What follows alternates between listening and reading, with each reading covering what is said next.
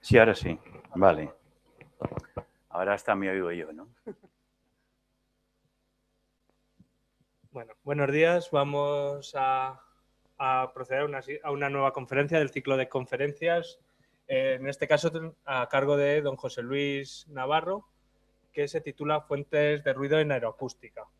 Eh, José Luis eh, ha desarrollado su actividad profesional principalmente en el INTA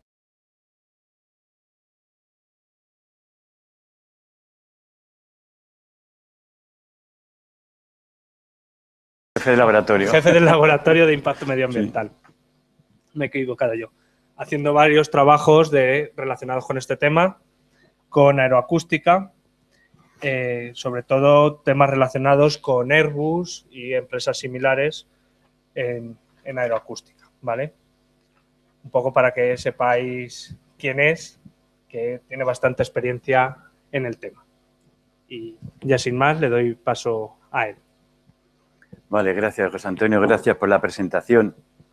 Y yo os aviso, esto es un plato duro, ¿no? La acústica sale, se desarrolla a partir de los años 50, fundamentalmente por Lighthill, y, y, digo que es un plato duro, pero es continuación de la acústica. Cualquier persona interesada en la acústica siempre le interesará este aspecto de la acústica, donde se definen muy bien las fuentes de ruido y, se, y además lo que se maneja suelen ser modelos exactos, que luego con aproximaciones se pasa a una forma adecuada para hacer el cálculo numérico preceda. Yo lo que voy a hablar aquí, pero voy a describir, que nadie se enfade porque aparezcan ecuaciones. Quiero que más bien me escuchéis, si no, si no queréis mirar a la pizarra, no miréis. Lo que quiero es que veáis los conceptos, las peleas y sobre todo las críticas que se hicieron a los primeros que empezaron en este campo, preocupados fundamentalmente por el ruido en el mundo aeronáutico y concretamente por el ruido de chorros, por el ruido de los aeroreactores. ¿no?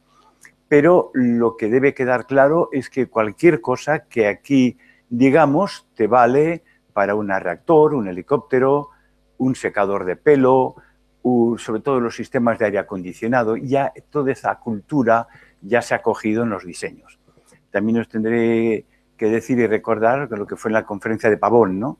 donde se decía que cualquier cosa, cualquier modificación que se quiera hacer en un producto suele salir muy cara si tratamos de reducir el nivel de ruido. Los arquitectos con los cuales he hablado y asesorado para el tema de acústica arquitectónica me cuentan el presupuesto que necesitan o, la repercusión en el, presupuesto cuando quieren hacer que un edificio sea acústicamente aceptable, dicen que es una cantidad de dinero muy importante. ¿no? Eh, este campo es aplicable a todos los sitios, tiene la exactitud, tiene la precisión y sobre todo eh, puede manejar efectos no lineales, ya que la acústica normalmente que se emplea es lineal. Esto, bueno, aquí he puesto dos referencias. Lighthill fue el primero, supongo yo que es el primero, preocupado por el ruido de motores de reacción eh, y lo llama ruido aeronáutico o aerodinámico. Y posteriormente se hizo, se añadió el término aeroacústica como vibroacústica, como aeroelasticidad, como servoaeroelasticidad. Se van agrupando disciplinas para abordar estos trabajos en la ingeniería, se agrupan disciplinas para abordar trabajos complejos. Os he cogido una, una definición que me gusta además. Lo que pasa es que yo no sé si estos dos tienen mucho derecho a hablar. Gisbert y Riestra trabajan mucho en conductos, dicen que en las conferencias que dan por ahí, dicen que están muy cómodos trabajando en conductos. Se trabaja mejor en conductos que en el ambiente, que en aire libre. Eh, todo se controla mucho mejor, todo se mide mucho mejor. Pero dicen que es el arte de encontrar soluciones aproximadas adecuadas para calcular el sonido producido por el flujo. A mí me gustó esto de buscar soluciones aproximadas. Las ecuaciones en principio son exactas. ¿Qué ocurre? Que luego hacemos aproximaciones con la justificación del que el oído no lo va a notar. Y eso tiene mucha gracia, ¿no? Eh, lo que voy a abordar hoy es unos general y antecedentes. Antecedentes lo que quiero demostraros que ya mucho ya lo sabéis si habéis trabajado, vais a trabajar, vais a estudiar el tema de la acústica de interiores o de exteriores, os vais a encontrar siempre con una ecuación de ondas, luego os vais a encontrar con la solución en forma integral y, luego, pues a lo mejor el cálculo numérico que puede proceder del método de los de los elementos finitos o del método de los elementos de contorno. Bueno, pues ya ahí se identifican esto, que los elementos que vamos a hablar hoy. Lo que pasa es que hoy se habla con mayor exactitud, nada más, ¿no? Esta continuación voy a resumir mucho la analogía de Lighthill y Fox-William. Pero si he puesto ecuaciones, no os asustéis, pero es que lo que ellos hacen es algo tremendamente sencillo, exacto y muy criticado. Ahora lo comentaremos. Por lo tanto, si os, os suenan a chino, a mí me da igual, escuchadme a mí, lo que os diga. Y como quiero hacer una aplicación, he elegido esto, la acústica de los molinos de viento. ¿Por qué? Primero porque hemos trabajado en ello. Hemos dado tres cursos sobre el asunto para los fabricantes de molinos de viento de este país de pequeña y mediana potencia. Esto porque el ruido de los molinos de viento de pequeña y mediana potencia impide que eso se pueda desarrollar, se pueda esto, como se han desarrollado los molinos de alta potencia, ¿no? que están muy alejados y tal. Los de pequeña y mediana potencia son molinos que se van se trata o se pretende, como en principio no tienen por qué ir conectados a la red, van a estar más cerca de las zonas pobladas, de las zonas agrícolas o ganaderas. El ruido es la clave para que se puedan desplegar. Y, ya está, comentaré un par de cosas al final, por ideas como para dar un par de ideas de trabajo. Bueno, se desarrolla en la segunda mitad del siglo XX, digamos más o menos entre los Beatles y Michael Jackson, y Lighthill es el primero, y a continuación, con el resultado, que ahora lo veremos preciso de Lighthill, la gente se anima y se introducen fluídicos, aerodinámicos, matemáticos a trabajar en el tema de acústica. Eh, pero yo no quiero, por lo que he visto, que la acústica, o sea, la acústica se considere algo ajeno a la acústica. Para mí es una continuación, es una extensión muy importante y en particular la gente que trabaja en, aeroacústica muchas veces resuelve los problemas como acústica y lo compara utilizando los métodos de Kirchhoff. Y siempre en los artículos hay una comparación. Los aeroacústicos son acústicos. Aquí yo quiero que veáis simplemente que vosotros sabéis llegar en principio a una ecuación de ondas. Eso es la primera referencia. La ecuación de ondas representa una aceleración de una variedad igual a unas fuerzas. Este término, la laplaciana, es una fuerza, ese desequilibrio que hay entre el valor de la variable en un punto y en su entorno. Y esto es otra fuerza, de modo aquí lo que tenemos es fuerza igual masa por aceleración, escrito de una forma un poco rara, ¿no? Bien, ¿por qué cuento esto? Bueno, porque, claro, hoy vamos a hablar de fuentes de ruido. Aquí tenemos en la ecuación de continuidad una fuente de ruido y aquí una F, una fuente de ruido. La gente lo suele poner, ¿no? Pero uno dice, ¿y eso qué es? Bueno, pues la Q puede ser un dipolo lejos, un altavoz en una caja lejos y, y la F puede ser un altavoz abierto lejos. Bueno, es una forma de colocar singularidades lejos, pero habría que justificar matemáticamente esto que está haciendo la gente, ¿no? Bueno, pues hasta aquí lo que conocéis. A continuación, vosotros tenéis que estar familiarizados, o ya os familiarizaréis, que la forma integral de lo que acabo de decir es utilizando la función de Green. Quizá la reconocierais mejor si, si la hubiese puesto en el dominio de la frecuencia, pero como todo aquí va a ir en el dominio del tiempo, pues lo que tenéis es una integral de volumen con las fuentes y lo que tenéis es un par de integrales de superficie. Si la función de Green la ajustáis adecuadamente, esto es cero o esto, lo que queráis, y fijaros que esto es la presión que hay en una superficie y esto es la velocidad o las relaciones con la velocidad. Por lo tanto, ya tenemos fuentes de ruido. En una superficie, el movimiento de la superficie es una fuente de ruido y eh, las fuerzas, porque la presión por la superficie es una fuerza, la, fuerza, con lo cual ya tenéis la mitad del camino ganado.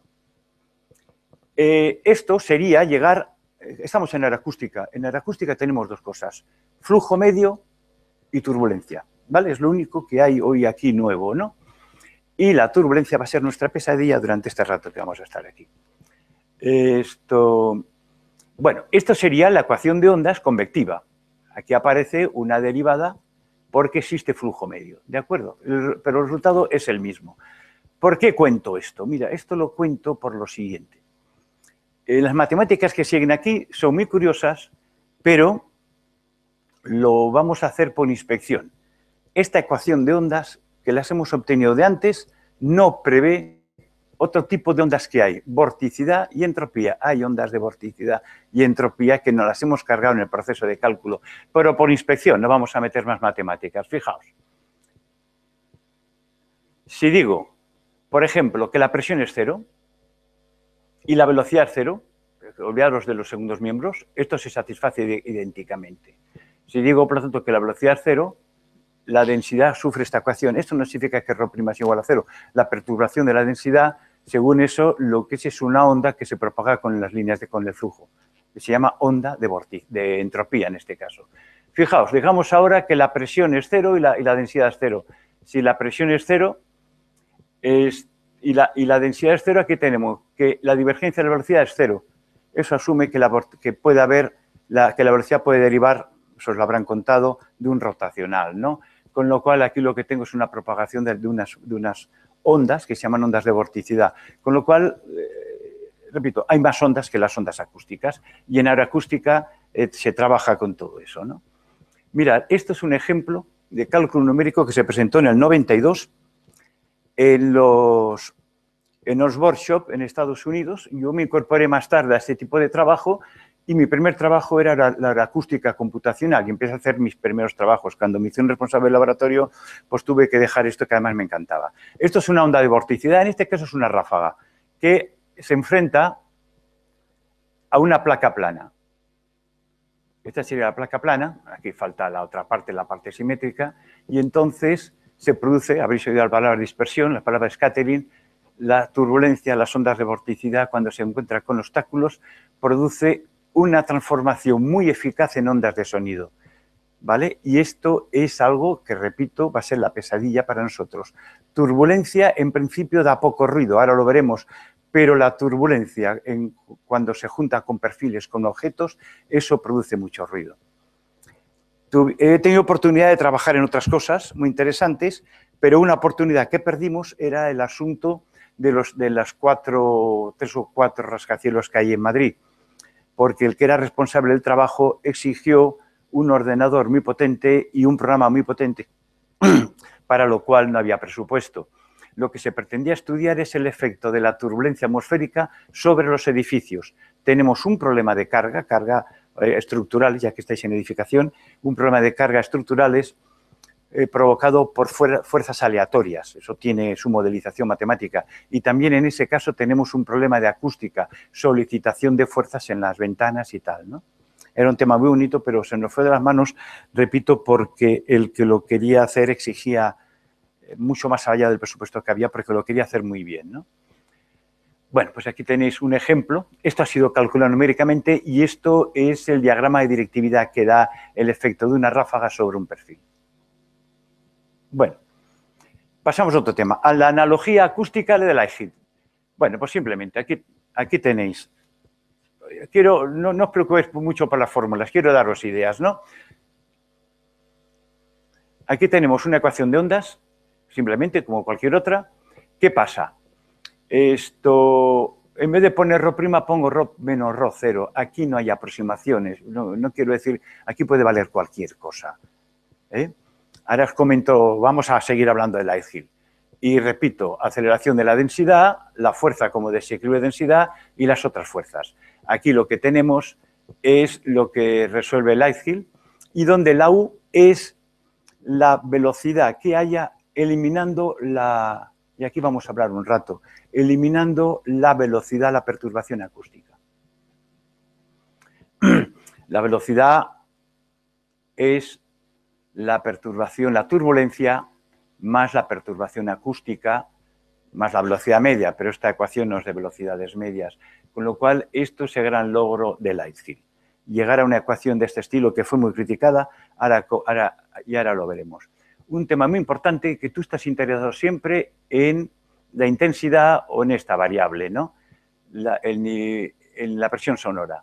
Y la presión sonora ya os, ya os lo contarán, eso está relacionado con la función de correlación y esta a su vez está relacionada con es la transformada de Fourier, o es un par transformado de la densidad de potencia espectral de la presión. Bueno, solo quiero deciros que cuando se usa eso en forma integral, y esto es un tema que también lo tenéis que saber vosotros en edificación, cuando hay cargas sobre el edificio aleatorias, siempre puede relacionar la respuesta espectral con la densidad de potencia espectral de las cargas. Eso es lo que hay en, mecánica aleatoria y tal, ¿no? Bueno, pues aquí, aquí lo importante es que esto requiere muchos kilos de matemática, los desarrollos, pero que os suenen estas cosas. Eso se obtiene cuando se conoce las características estadísticas de este término, ¿vale? Nada más, eso es lo que nos debe... Y esto es muy importante. Cuando Leithiel llega a esto fue muy criticado, porque os voy a comentar cómo lo desarrolló, os voy a comentar cómo se hizo. Cuando Leithiel llega a esto, eh, descubre, hay un escalado, no lo hago para ir rápido, hay un escalado y descubre que la, presión sonora crece con la octava potencia de la velocidad. Esto lo saben muy bien los que instalan aire acondicionado. ¿eh? Esto ya forma parte de la cultura de, la gente. Y la correlación entre la fórmula analítica y el experimento la veis en esta gráfica que le ha sacado de Goldstein, uno de los grandes acústicos, además de matemáticos. Pocas veces un resultado experimental se adapta a una predicción analítica, eh, como esta. Fue impresionante. A partir de aquí, la gente se empezó a interesar en la acústica y empezó a trabajar en este tema muchísima gente muy importante. ¿no? Bueno, hará un poquito de, rollete. Mira, lo que hace Lighthill es una soplapollez, ahora os cuento. Esto fue muy criticada. Vamos a ver, las ondas tienen, son variaciones de densidad, ¿vale? En segundo lugar, eh, cuando hay turbulencia, las perturbaciones de la turbulencia son del mismo orden de la velocidad, de que ahí no hay nada que despreciar. En turbulencia no se hace más que el análisis de su estabilidad. En turbulencia se coge la ecuación, se promedia, ya tienes la ecuación. Y luego otra ecuación es restar la ecuación primera de la promediada, ya tienes la ecuación de las perturbaciones, pero nunca esas perturbaciones son pequeñas. Y luego un paso, más es coger la ecuación de la energía cinética turbulenta.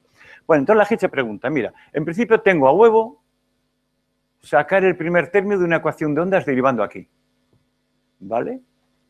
Y segundo, como no tengo la ecuación de ondas, resto este término a ambos miembros de lo que me sale y ya tengo una ecuación de ondas, lo podéis hacer en casa, ¿sabes? Y donde en el segundo miembro identifica un rollo un poquito feo. Vamos a, vamos a hablar. Al restar este término, en este miembro un poco feo aparece, esta, aparece este término, y esto tiene pinta, que si un proceso isentrópico es cero, ¿no? Coño, esto pinta bien, ¿no? En segundo lugar, estos son los esfuerzos viscosos, altos números reinos, que es donde trabajamos, eso es pequeño. Y me queda esta historieta. Vale, pues esta es la ecuación de Lighthill, es muy importante. Crítica, lo que le han dicho al pobre Lighthill. Es una ecuación perfecta, exacta, pero inútil. ¿Por qué? Porque todo es incógnita. Aquí no sabemos nada. Entonces, si Lighthill va a un acústico, le dice, resuelvo esto porque tú lo sabes. Si yo te meto una ecuación de ondas, en el segundo miembro te doy la, excitación, tú sabes resolverla. Y el otro dice, sí, pero dame el segundo miembro. Y dice, ah, no lo sé, no resolvemos nada. Y pues como lo traigas hecho, es que si lo tengo hecho el segundo miembro ya he resuelto el problema. Es un gran dilema lo que ocurre aquí, fue muy criticado. Y a continuación se le ocurre la gran genialidad, que es lo que he escrito aquí. Dice, bueno, dice, fíjate que esa ecuación del ágil es una especie, una especie de ecuación del todo. Ya lo quisiera para sí un Stephen Hawking, ¿eh? una ecuación de este estilo. Ecuación perfecta, exacta, bonita, pero no conocemos nada. Es una ecuación que prevé incluso la difracción de las ondas, porque ahí, ahí está todo lo que podéis pensar. El scattering de las ondas por la turbulencia lo prevé todo. Solución que hace Lightfield, quitarse la, incógnita acústica. Y plantea esto, ¿no? Y esta es la ecuación, digamos, que se está empleando. Y él ya dice, dice, bueno, esto ya los expertos en turbulencia ya me darán lo que vale. ¿De acuerdo? Bueno, perdona por las ecuaciones, pero merece la pena el tema. Foss William y Hawking. Eso, todo el mundo se empieza a animar, ¿no? Y entonces él se plantea, y ahora hablamos de ello, que tenemos un medio y se plantea esta ecuación. ¿Eh? Otra ecuación de ondas, ahora os contaré de qué va, y le salen de un modo natural las tres fuentes de ruido. Dos ya las conocéis, la presión, la fuerza sobre una superficie. Y esto, los, los monopolos, los, los manantiales que pueda haber, pero le salen de una forma exacta, sin hacer aproximaciones y muy preparado. Y esto es lo de Lifehill, que ya también ya, que es quizá sería la novedad. Esta ecuación lo que tiene es que tiene una serie de términos que permiten esto eh, rápidamente decir qué es lo que integral de volumen, qué es lo integral de superficie. Esto es solo un comentario porque si no va a ser tremendo, que es el siguiente. Él supone que en el medio que tú estás hay una superficie, puede ser real, puede ser un obstáculo, puede ser lo que te dé la gana, puede ser transparente, etcétera. Y hay ciertos parámetros de superficie. Y entonces lo hace lo mismo que Lighthill. Coge la ecuación de continuidad, pero en este caso la multiplica por HDF y ve lo que sale. Ya tengo, esto es muy importante en mecánica fluidos, yo tengo una ecuación de continuidad y tengo un segundo miembro que me está diciendo cosas que puedo interpretar, que son los flujos que traen a través de los, de los obstáculos, etcétera, etcétera. Esto es movimiento de, un obstáculo y esto es permeabilidad del obstáculo. Es que son ecuaciones del todo. Coge la ecuación de cantidad lo multiplica por h y ordena. Y le sale esto, la, la fuerza eh, y el flujo de cantidad de movimiento a través de las superficies. Y, ya, joder, esto no lo he corregido. Vale, pues ya está. Eh, y hace lo que os he comentado. Continuidad lo tiene a huevo, calcula la derivada segunda, cantidad de movimiento hace lo mismo y le sale esa ecuación. Bueno, pues ya está. Esto es lo más importante de, de hoy, ¿de acuerdo?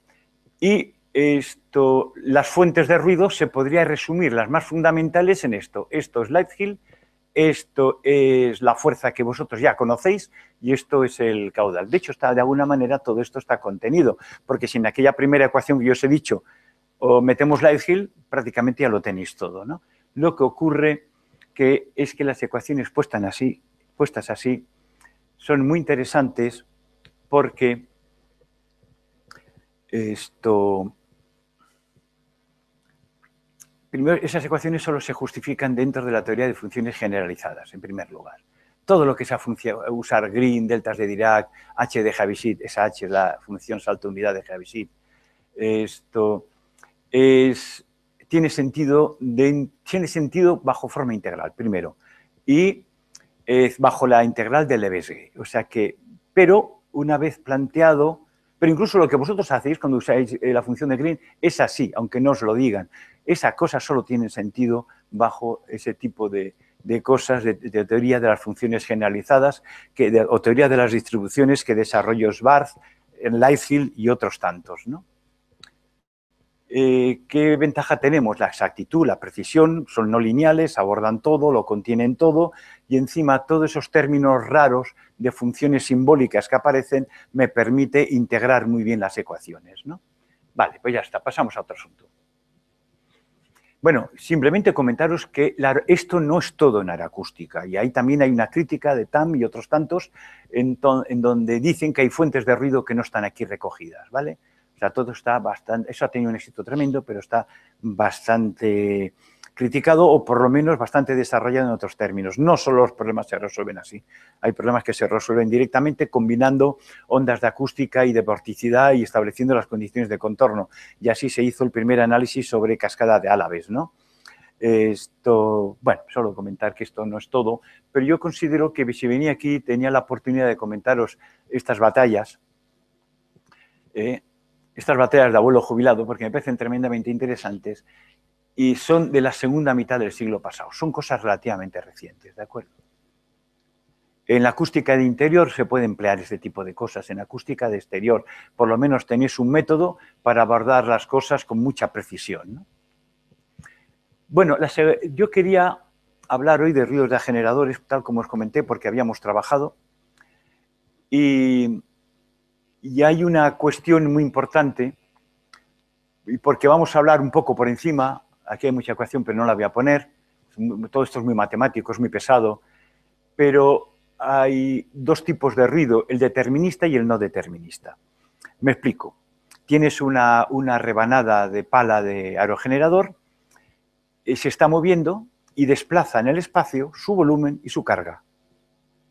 Su carga, su fuerza. Eso está previsto en las ecuaciones que hemos visto y esto irradia ruido. ¿Vale? Eso es una cuestión. Eh, en segundo lugar, Eh, y eso es exacto, las ecuaciones son exactas, o sea que, y los métodos matemáticos para eso son un poco complicados porque tenemos tiempos retardados, ¿no? Los que estéis en campos electromagnéticos estaréis acostumbrados a ver ese tipo de cosas. pero el otro tipo de ruido es el no, no determinista, es aleatorio, es el formado por la turbulencia. ¿De acuerdo? Y ahora veremos que hay cuatro o cinco clases y que se investigan muy bien en túneles aerodinámicos y que es tan complicado los estudios teóricos con fórmulas insoportables que la gente ha decidido y sigue trabajando en ello, los centros de investigación de todo el mundo, ahora os hablaré de los ejemplos, lo que están buscando siempre son soluciones eh, semiempíricas. La idea, y hay un esfuerzo por parte de la NASA, eh, por parte del Departamento de Energía de los Estados Unidos, en particular el ENREL, por parte de los centros de investigación de Europa, eh, por el desarrollo de las energías alternativas y en particular la eólica, hay un gran esfuerzo en sacar modelos que el fabricante pueda manejar en un ordenador sencillo. Y esto es lo que de alguna manera eh, vamos a tratar ahora. ¿no?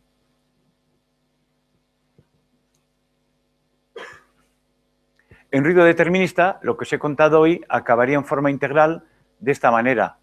en desarrollar esta integral a partir de esa Q que hemos visto y desarrollar esta integral a partir de la F. Esto es exacto, no voy a entrar en ello. Esto, dentro de los ruidos deterministas tenemos el de espesor, el de carga y el de interacción por la torreta. Solo comentaros, y esto es muy importante, que los dos ruidos, estos están, bueno, son armónicos, eh, y están correlados, de modo que no puedes hacer esto. ¿De acuerdo? Eh, esto lo hacemos cuando los ruidos no están correlados y sabéis cómo se refleja esta expresión cuando la pasamos a decibelios. Pasamos a no determinista, y que es el más difícil. Esto, por ejemplo, se divide en dos, ruido propio y ruido debido a la turbulencia entrante. El ruido propio los investigadores han identificado cuatro cosas. Esto es igual de aplicable, y repito, a cualquier cosa que os encontréis, al espejo de un vehículo, a la antena de un vehículo. Es aplicable cuando, por ejemplo, tienes que recertificar un avión para ruido, simplemente porque le pongan lo que ha ocurrido con el A330, que le han hecho avión, un tanquero, avión tanque, pues siempre le ponen ahí unos pilones, les ponen una serie de cosas, unos ganchos, bueno, y pues ahí quieren recertificar para ruido porque hay unas variaciones respecto al ruido. ¿no? De que esto, realmente yo he puesto molinos de viento, pero realmente se podía, podía hablar de todo, ¿no? ¿Sabes? Bueno, esto... Este, por ejemplo, es la turbulencia debido a la capa límite. Es una de las cosas que más se ha trabajado. Es decir, eh, cualquier cosa hecha una capa límite, la capa límite lleva turbulencia, la turbulencia al salir por el borde de salida crea un scattering, un mecanismo muy eficaz de generar ruido. Y con esto del ruido, yo quería comentaros que cuando te trae alguien un problema de ruido, en, general es muy complicado, porque si tienes toda esa cultura, el ruido puede provenir de cualquier cosa, al cual añade resonancias que de las cuales no hablamos. ¿no? Las resonancias no están, no están contenidas en las cosas que yo os he contado hoy. El ruido es un tema complicado y caro de resolver. Mm, yo lo comparo, vosotros habéis oído cuando se está haciendo, ahora que tenemos tantos programas de televisión sobre crímenes, bones y tal, yo lo comparo con una investigación criminal, ¿no? En donde detrás de un crimen siempre hay un tío que se enriquece o se, hay otro que sufre y otro que se divierte, ¿no? Con el ruido pasa lo mismo, ¿no? Esto, y además es aplicable aquella frase cuando aquí hay una investigación criminal en la cual te dicen, te dicen no, no descartamos ninguna hipótesis, ¿no? que es lo mismo que decir no tengo ni puta idea. ¿no? Pero es que es así, ¿no? cuando en la investigación de ruido siempre hay alguien que se divierte, alguien que se enriquece y alguien que se perjudica. Comprobarlo en la sala de fiestas, que hace ruido, el tío de arriba no duerme, el tío se enriquece y los chavales se divierten. Un aerogenerador está soplando con el ruido está haciendo ese sloshing, ese, ese onomatopeico inglés, que les encanta usar las onomatopeyas, Esto, el tío que ha puesto, al cual han puesto el molino de viento en su terreno, cada vez a la frecuencia de paso de pala le están ingresando dinerito en su cuenta, está feliz el tío, pero el tío que no duerme por culpa de estar sufriendo puede morir de infarto, ¿no? Esto, y siempre hay un tío que se enriquece. Es una investigación dura y cara, ¿no? Y encima matemáticamente jodida, o sea, es que es, tremendo el ruido, ¿no? Bueno, esta es la turbulencia, el escating de la turbulencia al pasar por el borde de salida. Luego veremos mitigación de ruido. He tratado de buscar algunos artículos para ver cómo nos podemos acercar para eliminar el ruido. Todo es muy caro y ningún fabricante lo va a aceptar, pero bueno, por lo menos sabemos las formas de eliminar. Este es tremendo. Esto es una inestabilidad debido a la capa límite laminar si estamos en modo laminar, que hay que evitarlo, eso silba terriblemente. Es una inestabilidad que se propaga dentro de la capa límite laminar, sobre todo al principio de la inestabilidad de la capa límite. Se llama inestabilidad de Tolmin-Slitting. Esto es porque, por razones de fabricación, esto, el perfil tiene que terminar con espesor no nulo, no puede terminar como una cuchilla. Y entonces se desprenden torbellinos. Esos torbellinos producen presión en el borde de salida y eso también transmite ruido. ¿sabes? Eh, y luego esto tiene que ver con la calle de Torbellinos de Carman. Aquí he puesto los, las personas que lo han estudiado y esto es el escalado del cual hablaremos luego. Y el torbellino de punta de pala.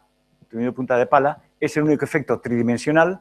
Puede ser tonal, ahí he puesto tonal, pero también puede ser del otro estilo. Paseando, paseando por, por el sitio de molinos de viento que hay en Tebar, si lo hacéis, me, os aconsejo que un día os paséis por allí. Esto, hay una pala de un molino que silba, los demás no, ningún otro molino. Y es tremendo, ¿no? Nadie se ha puesto allí a investigar, ¿no? Solo la punta de una pala de un molino, ¿sabes? Silba. Seguramente en el proceso de fabricación alguien lo haya dañado, ¿no? O algún pajarito haya dejado un poquito de dieléctrico allí, ¿no? Como recuerdo. Bueno, y el ruido debido a turbulencia entrante.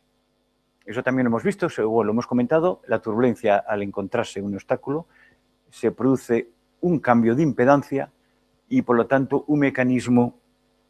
¿Qué ha pasado? ¿He tocado lo que no debo? Se produce un mecanismo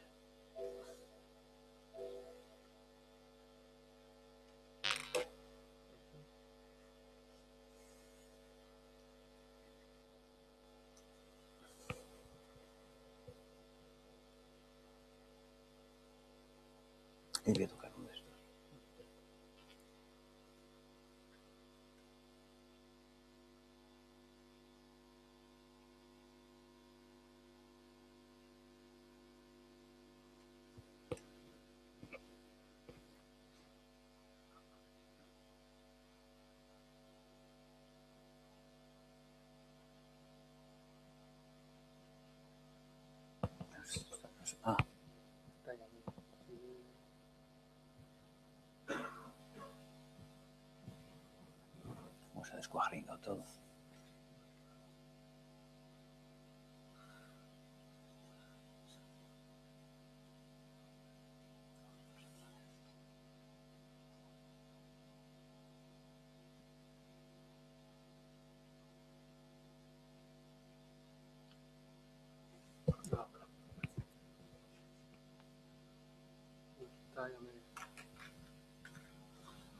Vale.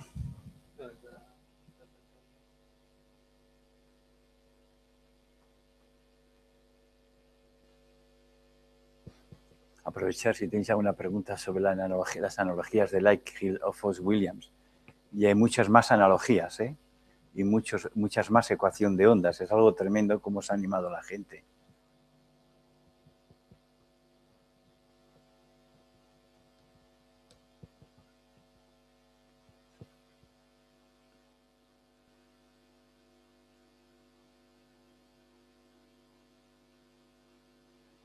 Normalmente, volviendo a la analogía, hay un concepto que es incepción, que es dentro de la teoría de las funciones generalizadas, es decir, yo tengo un campo, tengo una pieza por ahí, un objeto, una superficie que lo envuelve.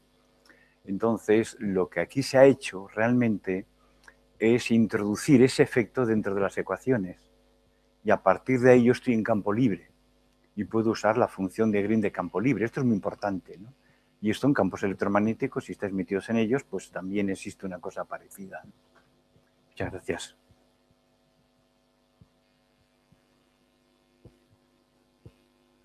Bueno, modelos de predicción hay muchos, desde una cosa elemental, es decir, venga, para ir por casa, tanto diámetro da tanto ruido, hasta modelos más avanzados. Esto Lawson los distinguió en tres niveles, ¿vale? Y aquí lo que os he puesto, por ejemplo, tengo los dedos muy estos son los centros de investigación, los programas de la Unión Europea, eh, del Joule del 1 al 5, esto, el departamento, todos están trabajando y no paran de trabajar para lo que os comentaba antes, eh, obtener métodos de cálculo más o menos complicados que pueda tener un fabricante de molinos de viento para poder diseñar. El problema es cuando quieres, introducir no una aproximación al ruido, sino pequeños efectos de, modificación eh, dirigidos a reducir el nivel de ruido. Eso es más complicado meterlo en estos modelos, pero el esfuerzo se está haciendo continuamente.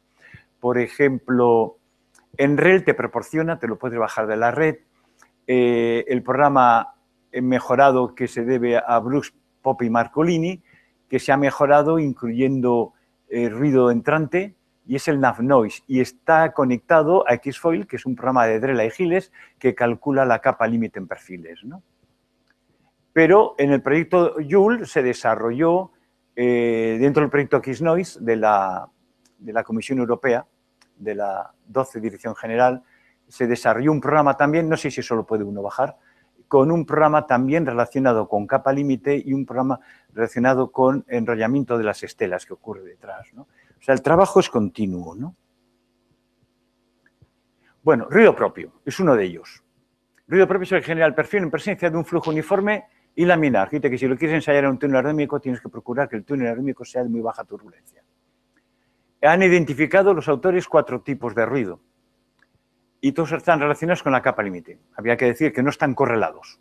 ¿eh? O sea, que puedes, a la hora de sumar, puedes hacer una suma energética.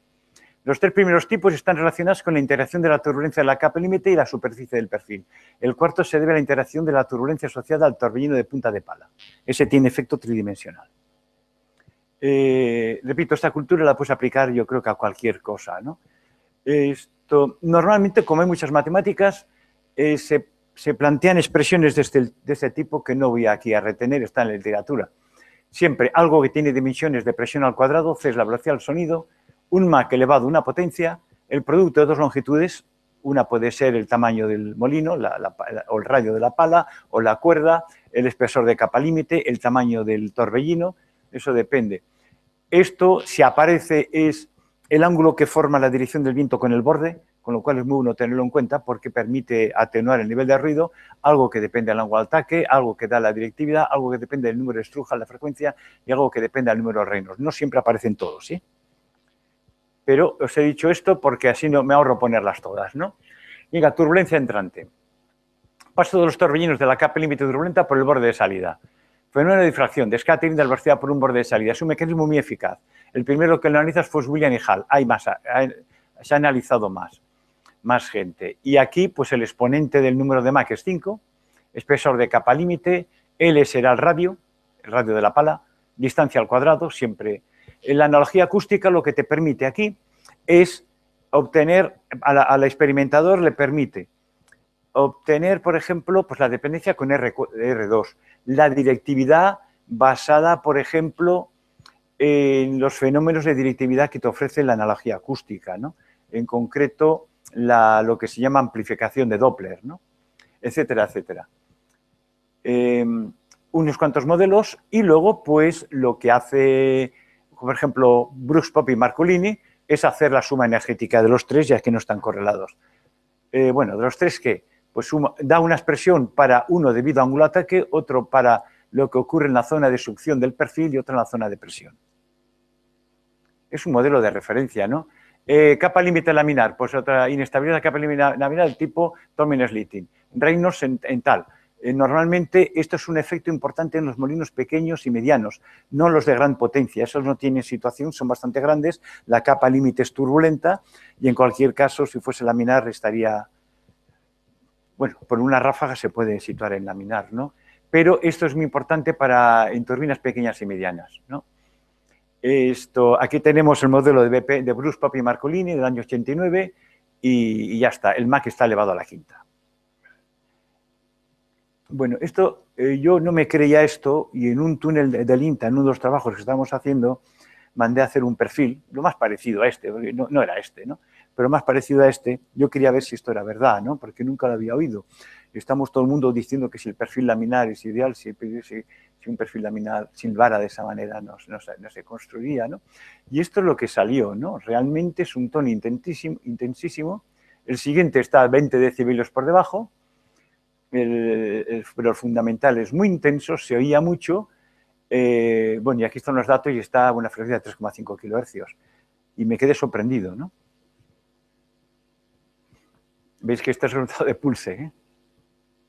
Ah, eh, simplemente comentaros que esta gráfica es con el perfil puesto. El túnel tiene 20 por 20 centímetros nada más, ¿eh? aquel túnel donde ensayé esto. Y este es el ruido de fondo del túnel, sin perfil.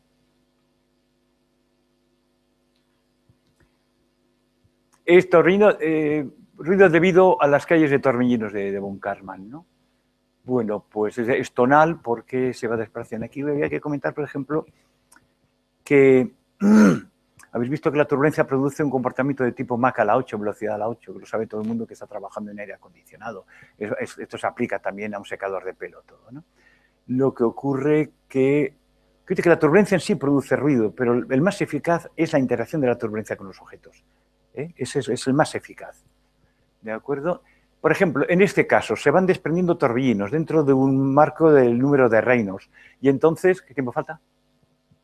Ah, dentro de, de número reinos. Esos torbellinos producen cambios de presión en el perfil. Son esos cambios de presión los que producen... Los torbellinos en sí, también producen acústica, pero es poco importante. Lo importante son los cambios de presión sobre el borde de salida de los sujetos. Eh, igual, eh, estos son los tonos eólicos que oiréis, y además en, acústica también os interesaréis que no haya esto, a ciertas velocidades del viento, pues suena y pita todos los, las líneas de alta tensión y todo esto, esos son tonos eólicos, ¿no?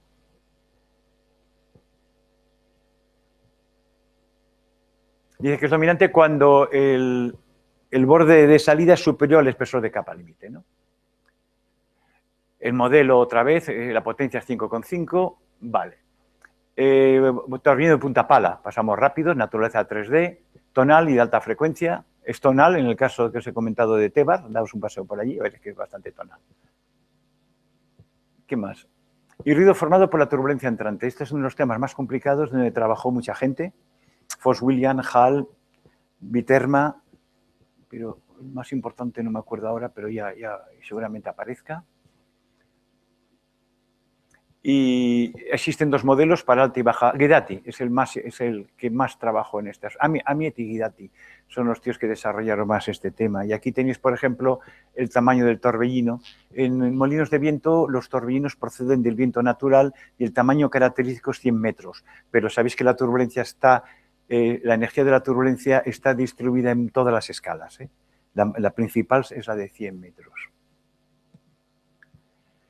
Em, cuando mides, y esto hizo una medida muy buena porque estábamos metidos en ello, cuando empezamos a hablar de molinos de viento con el CIEMAT, quisimos hacer un contrato de colaboración, luego salió un trabajo, pero cuando fuimos a Soria, donde CIEMAT tiene, tiene ahí un sitio, empezamos a medir, a hacer cositas, pero esto es una medida sacada del libro.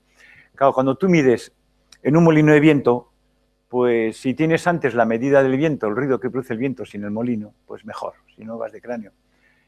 Y aquí lo que tienes es la suma de los dos. Vosotros sabéis cuando se suma el ruido de fondo con el ruido que medís y conocéis el ruido de fondo, podéis hacer una estimación del ruido que queréis obtener. ¿no? Que quede claro que eso es una, estimación con incertidumbres. ¿no? Cuanto más separada sean estas dos líneas, mejor. más cositas. Bueno, y ahora todos los cálculos que hay, los programas que te puedes bajar, esto te permiten sacar este tipo de cosas, ¿no? Este tipo de gráficos en donde eh, todos los ruidos eh, aquí no están correlados, puedes sumarlos energéticamente y tener el total. Aquí tienes el de la parte de, succión del perfil, la parte de, presión y la parte de ángulo de ataque. ¿eh? La punta de pala, el penol de la pala. la turbulencia entrante, laminar y el borde de salida. Y esto deben ser datos experimentales. ¿De acuerdo? Y este es el total. Fijaos que el amarillo aquí, cuidado, el amarillo es el más intenso, un poco es engañoso porque podía no haber ese día turbulencia o se podía haber hecho sin y eso desaparece. Esto, bueno, el siguiente. Ahora lo ponemos en función de la velocidad del viento y ahí tenéis el comportamiento en función de la velocidad del viento. Hay unos que se comportan como Mach a la cuarta, Mach a la quinta, Mach a la sexta. Cuanto más pequeño sea el Mach, más fuerte es el sonido. Estamos hablando de subsónico, donde el número de Mach es menor que uno. Bueno, y ahora vamos a hablar de reducción de ruido. Dos cositas, dos conceptos, pero, mm, repito, este tipo de cosas es aplicable a otras muchas cuestiones.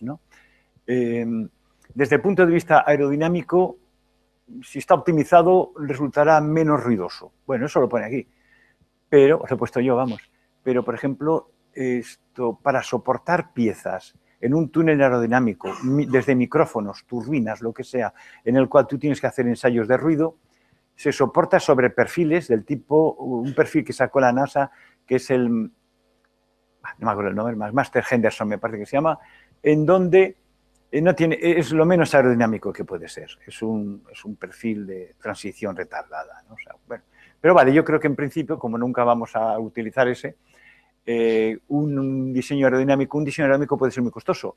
Puede, puede, exigir tres tipos de perfil a lo largo de la pala con transición entre ellos, ¿no? O sea, qué bueno. Em, bien, 5 decibelios te dicen, a ver qué significa, la parte más ruidosa es la, la parte que va a mayor velocidad y esto es muy importante los de naturaleza tonal o armónica pueden reducirse. Si algo pitas que está mal hecho, esos son fáciles de reducir. Los difíciles de reducir son los de banda ancha. El de la capa límite laminar que, que oscila, el de el borde de salida con espesor y el de punta de pala.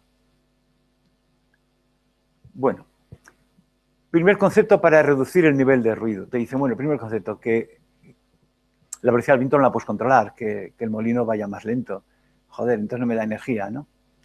Esto, bueno, pero hay salida al tema, ¿no? Mm, esta es la potencia de un molino de viento. Esto es el producto del área de paso, la, densidad de, energía y por la velocidad, ¿no? Y esto es el CSUP, el coeficiente de potencia. Realmente esto es la definición de CSUP. Eh, la velocidad de la punta de pala viene pues, por Pitágoras y ya está, ¿no? Bueno, entonces, se dice que reduzcamos la velocidad de rotación. Aquí Lambda suele trabajar en valores de 7, 8, creo que esto prácticamente, la velocidad de punta pala prácticamente es la velocidad, corresponde a la velocidad periférica. Esto, que reduzcas lambda y luego te dicen que reduzcas, que si reduces el ángulo de paso para tener menos carga, se reduce el ruido en un decibelio. Y luego también te dice, bueno, usted, claro, la, las ordenanzas municipales te dicen que por la noche hagas menos ruido. A lo mejor esto de reducir la velocidad puede ser bueno esto por la noche. Por lo tanto, esto también llama la atención a que es posible un sistema de control que te dé el ruido adecuado en una instalación según el viento y tal. A lo mejor no recuperas toda la energía, pero estás, estás dentro de la reglamentación. Esto lo he sacado para que veáis lo que significa eso. Vamos a ver, cuando una de las teorías más bonitas es la de palas de helicópteros, las de palas de molino de viento.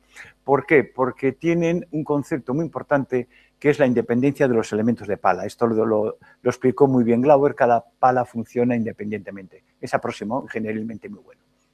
Entonces, hay una primera teoría que es muy sencilla y que te dice que se, debe a Beth, que te dice que lo máximo que puedes conseguir es un no llegas nunca a 0,6 del coeficiente de potencia, obteniendo energía del viento. Esto es una teoría mejorada donde prevés que la, estela se pueda enrollar. Bueno, este es el máximo de energía. Y esto es una fórmula que hay por ahí porque no he encontrado a nadie que me dé sus curvas características de su molino de viento. Entonces es una curva que hay por ahí, que es más o menos universal, es una ecuación en donde me da, en función del parámetro de punta de pala, me da el coeficiente de potencia y el parámetro es el paso de la pala. ¿De acuerdo? Claro, cuanto más ángulo de ataque dé, más fuerza hay sobre la pala. Bueno, ¿qué significa reducir la velocidad? Pues esto es muy importante. Si yo reduzco la velocidad y estoy aquí, me vengo aquí, como en la curva estamos en el máximo, suponemos que estamos en el máximo, pues no, no significa una gran pérdida de potencia.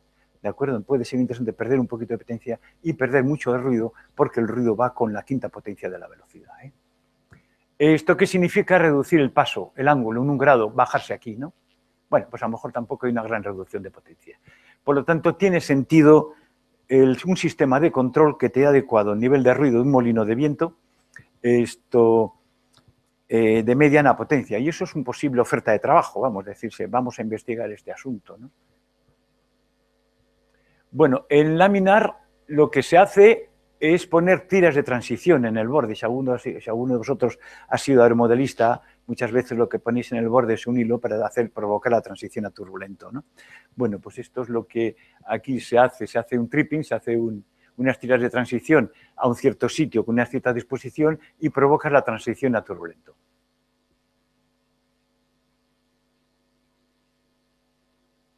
Bueno, esto yo creo que la primera frase y la última es lo mismo. Vale. Bueno, la, punta. Bueno, fíjate lo que se trabaja en diferentes puntas de pala. Para, esto, es forma de planta de la, esto es forma de planta de la pala. ¿eh? Esto, bueno, me, en turbinas, bueno, parece ser que esta es la que da el mejor, el, mejor nivel de ruido, ¿no? Eso simplemente son los estudios que está haciendo la gente. Esto han sacado de dos proyectos europeos, le he sacado, ¿no? Medida sobre turbinas y en, en, túnel aerodinámico a dos ángulos de ataque. Bueno, esto ya es la pala viendo así, en el borde, el espesor de salida. ¿Cómo terminamos? Esto, no representa, esto representa el espesor de salida de la pala. Esto sería H. ¿De acuerdo? ¿Y cómo debes terminar la pala? Parece ser que el que produce el menor ruido son ese tipo de palas. Y esto le creas un problema al fabricante que termine una pala que sea una cuchilla, ¿no? Y el caso de referencia es este. Esto lo he sacado de Wagner. Bueno, y el tema de la turbulencia entrante.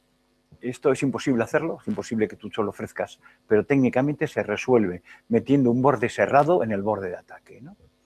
Esto, claro, ningún fabricante te va a poner un borde cerrado en el borde de ataque, además eh, sería desastroso porque se degeneraría si hace impacto con pájaros sería desastroso, etcétera. Pero el caso es que baja 5 decibelios y esto proviene de un estudio de ver del ruido de... No, no, lo no, tengo puesto aquí. Bueno, no, eh, se debe a un individuo que estudió el ruido que produce un búho en su vuelo. El búho se lanza contra su presa no haciendo ruido, entonces descubre que lo que tiene una especie de borde de, ataque cerrado provocado por ciertos músculos que levantan. El borde de salida cerrado lo veis en los reactores antiguos, que te lo tenían ondulado. Se aplica también en ruido de cavidades. Las grandes empresas de automóviles aplican cuando se puede abrir el capó, lo aplica para evitar ese tipo de ruidos, etcétera.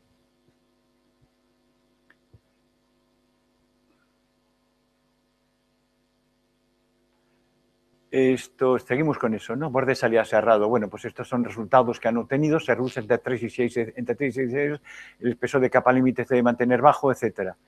Y si eh, optimizamos el perfil, tenemos 4 decibelios más. Es mucho, llegar a reducir 8 decibelios es muchísimo. Eh, borde, esto, seguimos con borde de salida, perdón, sí, esto, esto es borde, la, la resolución de eh, la turbulencia de salida debido a la capa límite. Y estos son los resultados que se obtienen según se han hecho experimentos en borde cerrado. ¿no? Y tiene sus pequeños estudios analíticos. Lo que hace es que el torbellino no se encuentre, que sale de la capa límite, no se encuentre en el borde de salida un cambio de impedancia tan grande. ¿no? Y también se usa paneles porosos, otra forma de hacer que el cambio de impedancia no sea brusco. ¿no? hacer que el perfil termine en capas porosas. Turbulencia entrante. Es que borde de ataque cerrado, es Graham el que hace el vuelo silencioso. Esto, otros investigan y hay otro método que es aumentar la curvatura del borde de ataque, que el borde de ataque sea bastante romo, eh, eh, y luego, o dar flecha, que la pala, no he traído un dibujo, pero que las palas no sean rectas, sino que sean curvas. Bueno, otro asunto. Dos temas nada más muy cortitos. Es que ocurrió que una empresa una, editorial alemana, que igual la conocéis, que lo que hace es editar tesis doctorales e historietas, me pidió que, le preparara para publicar un libro. Y en el proceso de la jubilación, cambio de ordenador y tal, yo perdí todo, fui al INTA a recuperarlo todo, pero eso no lo recuperé. Y ahí tenía yo dos cositas desarrolladas, más o menos, pero yo ahora solo lo planteo como también posibles propuestas que, de trabajo, ¿no? Eh, ya en el 51, Mille Thompson, en una conferencia que publica el INTA, esto se plantea lo siguiente. Si tengo que hacer un despliegue de molinos de viento y, conozco el precio, ¿qué es lo más barato? Hacer uno muy potente o dos muy potentes o varios menos potentes. Bueno, pues él plantea esto y yo no me, yo no me he salido de lo que él ha planteado él. ¿eh? Esto tenemos que la potencia, la potencia viene dada por esta expresión. Repito, esto es la definición de C sub P esto, el máximo de B es 0,59. El peso, más o menos, también ahora se admite que es proporcional al tamaño, al R cubo, en forma de escala. Esto, sabéis que todo ese tipo de cosas se estudia viendo lo que cuesta el terreno, lo que la, qué financiación tienes, qué subvención tienes, cómo quieres amortizar. Esto es más complicado que esto. ¿eh? Pero al final puedes, eh, lo que, yo me he tenido lo que hace Mille Thompson, ¿eh? no he querido aquí en este caso traer más historias, esto, el coste es proporcional al peso y luego otro, proporcional, por ejemplo, pues a la torreta ¿no? y por el número. Bueno, pues aquí hay una optimización. El coste mínimo te daría este radio eh, y, esta, y este número de, molinos de viento. Mm, habría que ver con los molinos de viento actuales cuáles son los parámetros A y B. Aquí hay una cosa muy importante y es que aquí en esta expresión aparece el cubo de la velocidad. Claro, evidentemente ese estudio había que hacerlo con la curva del viento, con la estadística del viento. Que aquí habría un estudio muy bonito, supongo que se hace, ¿no? Y para trabajar, eso es una propuesta de trabajo, vamos, que se podría proponer. Y luego lo que podríamos también hacer es sobre una distribución de molinos de viento, donde tengamos un terreno, una distribución, esto, aquí sería el punto efecto, el punto causa, perdón, el punto causa estaría aquí donde está el molino, punto efecto donde está el observador, tenemos material para hacer un mapa de ruido eh, según está la distribución o según diferentes distribuciones de molinos de viento y según diferentes direcciones de viento. Con lo cual se podía tener, y esto podía ser una propuesta de, proyecto. Bueno, y con eso termino ya. ¿eh? Eh, con unos comentarios. Los aerogeneradores de pequeña y mediana potencia se instalarán próximos a las explotaciones industriales, agrícolas. El despliegue de sistemas de energía dependerá del nivel de ruido tenía que haber puesto, pero decirle a un fabricante que baje el ruido es muy caro. ¿no? Desde Internet de Energía Renovable, las naciones a través de su centro de industria tienen las causas de ruido a través de modelos y métodos de mitigación. Y estos son los programas que eh, dentro del programa marco de la Dirección General 12 de la Comisión Europea, concretamente Jules, Sirocco, DEWI, todos estos que hemos visto son subproyectos de estos, los centros de investigación, estos son los países más comprometidos, el INTA yo creo que fuimos los últimos, además hago un comentario respecto al INTA, y, NASA pues, ha desarrollado molinos y casi todos los autores sobre ruido pues, son también de NASA y del NLR y tal. En este tema, eh, científicos e investigadores, sobre todo del NLR de Holanda, eh, se han volcado en el asunto. Y ya nada más, muchas gracias, eso es todo. ¿Tenéis alguna pregunta? Muchas gracias por la conferencia. ¿Alguna pregunta? ¿Una cosa que queráis comentar? Nada. Bueno, yo la digo de Ah, tiene que grabar. Hola, José Luis. Sí, si no, no se graba. Si no se graba, bueno, pues venga, que se graben las preguntas también. Eh, bueno, una de las preguntas casi la has respondido ¿no? con, con, la conferencia que has dado, pero que has dado, pero quisiera una opinión casi a nivel generalista, ¿no? Como resumen de, de la conferencia y es mm, por esta opinión acerca de si realmente hay una es compatible, ¿no? El, la, la reducción o el planteamiento de la reducción de ruido de los aerogeneradores con otro tipo de, pues por ejemplo, con la eficiencia energética de dicho aerogenerador o el cumplimiento de normas medioambientales, no solamente en cuanto al ruido, ¿no? sino, por ejemplo, pues a nivel medioambiental como preservación del medio ambiente, las rutas de los pájaros, etcétera, etcétera. ¿no? Si realmente así a nivel general se puede decir que, va por el buen camino y que es compatible ¿no? en la reducción del ruido como un valor añadido a ese aerogenerador. Y luego un poco saber cuál es tu opinión acerca de la situación actual, ¿no? Si con, conociendo cómo está ahora el parque eólico, los fabricantes, eh, los parques eólicos que existen, las tecnologías, si no se ha llegado ya o en el punto en el que estamos en, eh, ese proceso de reducción, si realmente ya se está llegando a un proceso de una optimización bastante eh, elevado, que ya es muy difícil, ¿no? En la situación actual a nivel tecnológico llegar a reducir más sin que los costes aumenten, evidentemente, y sin que se, digamos, se desmarque el resto de, elementos, ¿no? Y si habría que, si todavía queda eh, que hacer en, esa reducción, dónde podría ser el, dónde habría que atacar, ¿no? Dónde, hacia dónde mirar, ¿no? Bueno, vamos a ver esto. Por ejemplo, en el parque eólico que estuve visitando en el CIMAT, habían, por ejemplo, palas, cuerda constante. La optimización es otra historieta, la optimización de una pala, ¿no? la optimización aerodinámica, eh, la torsión y la destrucción de cuerda y torsión son claves en la optimización. Y ahí habían palas rectas que no se movían con una brisa y había uno japonés que giraba a una velocidad enorme, eh, que se estaba ensayando así, y allí además había una cámara tomándolo que se, enviaba por internet a Japón. ¿no? que, y apenas hacía ruido era uno de esos, como se usa traído, de pala retrógrada, ¿no? O sea que, o sea que, en segundo lugar, como tú dices, todo lo que se ha comentado es carísimo. Es decir, a un tío ponme un borde de salida cerrado, ¿no? Es mejor decir, pues me prefiero ir más barato irme lejos, ¿no? Comprar un terreno lejos que más será más barato el terreno, ¿no? Es, es complicado. Los, los, de alta potencia, los esos de 1,8 megavatios, 2 megavatios, esto se está extendiendo 2,5 megavatios, estos tienen un sistema de reacción de ruido. Yo supongo que está basado en cambio de paso de pala frente a una ráfaga. Esto, salvo que haya alguna restricción por la noche, ¿no? Y entonces pues se muevan en la gráfica esa que, hemos visto, ¿no?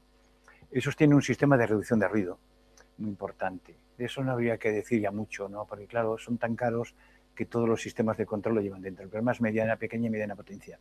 Por ejemplo, en pequeña potencia hay una forma de regular cuando hay ráfaga. Esto, tratar de entrar en pérdida, se reduce la carga. ¿eh? Esto es una forma de regular, pero es una forma de regular muy ruidosa. Otros se inclinan. ¿eh? Si este es el plano, hacen así o hacen así. También es un mecanismo muy ruidoso, ¿sabes? Entonces no lo podías tener cerca de casa el día que haya mucho viento, sería un espectáculo eso, ¿no?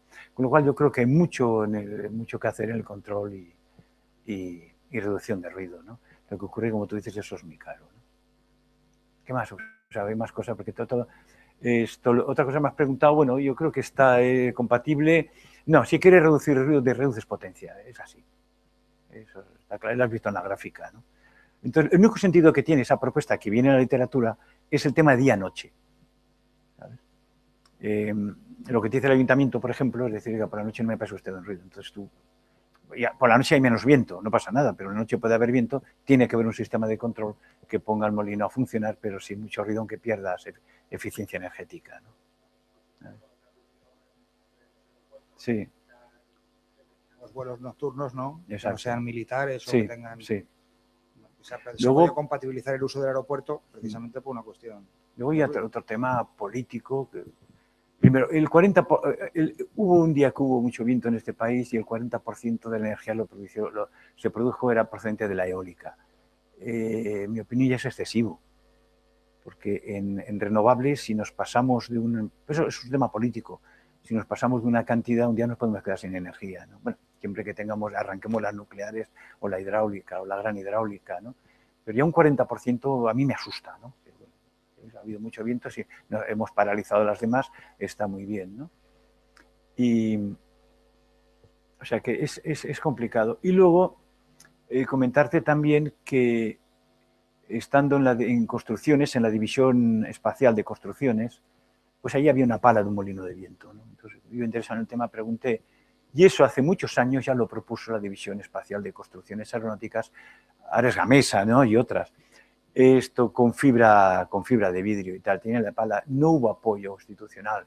Sin embargo, ahora lo que tenemos es unas leyes que apoyan pues, la, y excesivamente la, la fotovoltaica, por ejemplo, que ahí se han pasado un poquito, y, o se pasaron un poquito y, están apoyando la eólica. O sea que es un poco también el apoyo que da las instituciones para, para desarrollar, que al fin y al cabo es, digamos, eh, aquí entre nosotros, es siempre beneficiar a ciertos sectores. ¿no? A veces las leyes se hacen para beneficiar a ciertos sectores, ¿no?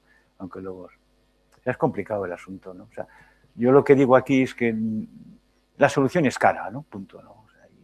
y, en ingenieril, cuando somos ingenieros y decir esto es caro, pues a lo mejor hay que descartarlo. Es muy bonito, muy matemático, eso sí, pero lo que sí es cierto es que todos los centros están trabajando en este tema. ¿eh? NASA y todos los centros europeos. Esto es muy importante. Vale, muchas gracias. Bueno.